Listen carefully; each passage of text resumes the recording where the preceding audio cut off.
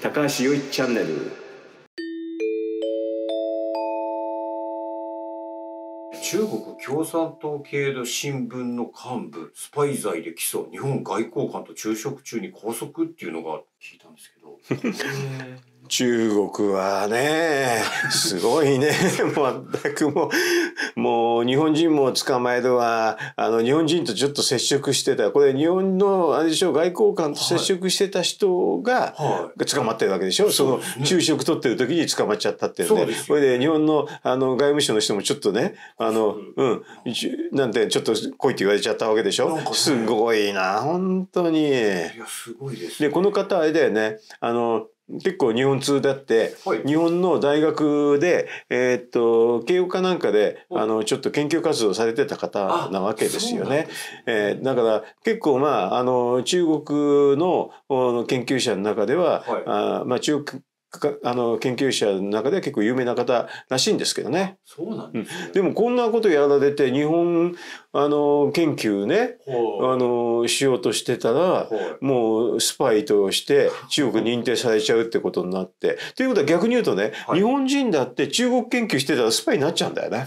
なのでもともとこのあのなんだっけなはあの国家はいはい。えっ、と,、えー、と安全法かなんかっていう法律ってな生きがい適用っていうのがあって、はい。で日本人だって私なんか中国批判してるからアウトなんだよなおそらくな。はいだからそういうふうなことになると日本人研究者もはい。実はスパイと、あ疑われちゃうかもしれないよね。研究者がダメってことは中国にいいことを言ってる研究者も捕まる可能性があるってことですかいやでも中国にいいこと言ってる研究者は捕まらないから。である意味でねこれでねあれだよね、中国にいいこと言ってる人は捕まらなくって、はい。中国に悪いことしてる人は捕まるってことであなるって分かりやすくなるんじゃないかな。なるほど、うん。そうなんだ。からそうするとこういうふうな学学問の世界っていうのは学問の自由っていうのがあるからね。はい。学問の自由ってなのにこんなことされちゃたまんないよね。はいいろんなあの噂によるとねこの方中国人なんだけど日本に来てる時ああるでしょ、日本に来てはいはいはい。ていろんなその慶応とか北海道大学だったと思うんだけど、そこで研究活動してたから、はい。その時からマークされてるらしいという、マーク。うん、中国当局から。そうすると何なの？これ。中国の人がはい。日本に来てる時にはい。中国人がこっそりとその中国人をマークしてた。はいはいはいっていう話でしょ？はい恐ろしくて主権侵害も甚だしいよねと。中国の人がなんかいろんなのマークするために日本の国内でいろんな活動をしてるかもしれないね。あそれがじゃああのかもしれない秘密警察秘密警察かもしれないし全然違う人かもしれないしまあ中国は秘密警察つながってねとにかく相手国の主権を侵害するの平気なんだよね。あのだって生きがい適用っていうこと自体そもそもが主権侵害なんだ。はいはい。生きがい適用ってで中国のあ国安法っていうね法律にね日本人が批判しててもねあのアウトっていうことは日本あのこのね YouTube の話なんで私なんかもう絶対に香港に行ったら逮捕ですよ。そうん、だからそれはもうそれは主権主権侵害なんではっきり言えば。はいあれはあれですよ。私香港じゃなくてもね、はい。中国とね、えっと犯人引き渡し条約を結んでる国って結構多いんだよね。だからあのヨーロッパの国なんかも結構あるんでフランスとかイタリアなんかそうなんだけどね。あだからそこ行っても微罪であれだよねフランスとかイタリアなんかがあれだよね中国になびくとね私は逮捕かもしれないね。うわー。わーですよ。だからさすがにねあのあの生きがい適用についてねそういうふうな今欧州のね民主主義の国はね、はい。その引き渡し条約は停止するっていうねあ動きがちょっとあるけどねそりゃそりゃそうだよやばいよね。だからもうとにかく主権侵害が中国で当たり前なわけ。まあなぜならばね中華思想なんだよ。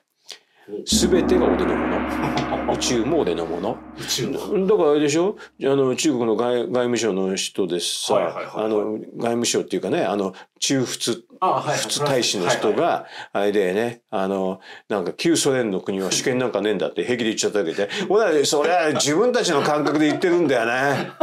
だからそれはもうそしたらもうあの旧ソ連国みんな怒るよな。だからさすがにみんな怒ってるから中国あの外務省も「いやいやそんなことないあれは個人的だ」っていうふうに言ってるけどお前でも本音が出ただけだろうと思うよ あの中国外務省お前実は本音外で言うなよって思って言ってると思うけどね。でも中華思想だから 当たり前なんだよ。だからあれでしょ？この間もえー、と尖閣の話。あと沖縄もはい。沖縄のところで俺のもんだって言っててに日本は主権を行使するなって言ったの俺のもんだって言ってることでしょ。ですよね。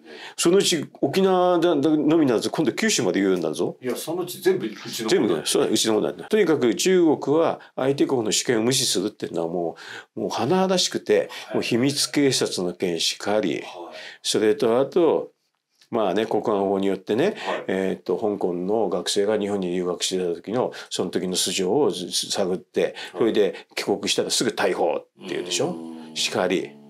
それで今回のこれはあれだよね。ある意味で日本の外交官のところで一緒に飯食ってってクソの外交活動だもんね。そんなのもさもう逮捕だもんね。もう全部無視してるよね。ね怖い国だね。日本人で中国にたくさん行ってる人いるでしょ、はいはいはい。あの人たちもいつ逮捕かもしれないよね分かりゃしないよね。早く帰ってこないとまずい。もうあれだよね。あのえー恣意的な運用が山すごいからさ、はいはい。なんで逮捕されるかさっぱり分かんなくて、うん。でみんなあれだよね。あの前に、えー、と中国のしで、えー、と逮捕された人なんかは逮捕じゃなくて軟禁されるんだよな。だからまずね中国の日本の制度が違っててね、はい。いきなり日本に帰ろうとするとその日に軟禁される。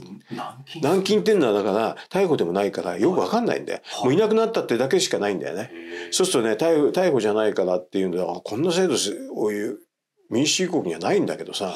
普通は自由か逮捕なんだよね。ねで間の軟禁ってのがあってなんか聞くと逮捕じゃないとか言うんだけど軟禁してるだろうって話なんだよね。はいはいはい。で逃げられないからね。逮捕と一緒なんだけどね。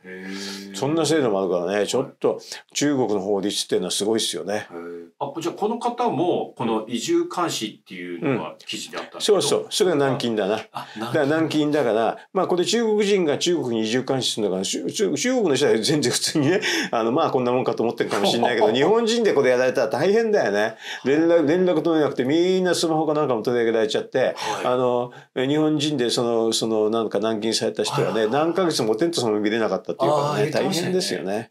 まあ、こういうふうに制度の違う国だから中国に進出してる企業っていうのは日本人はもう人質に取られちゃってるようなもんだよね。ある意味で拉致されてるのと一緒だよ。怖いですねそれででも帰国命令出したら捕まっちゃう可能性もあるっていうっ帰国命令出すと空港でパシャってやられるんじゃないの？てことですよ、うん恐ろしいね。帰るに帰れないじゃあずーっと監視されてるからね。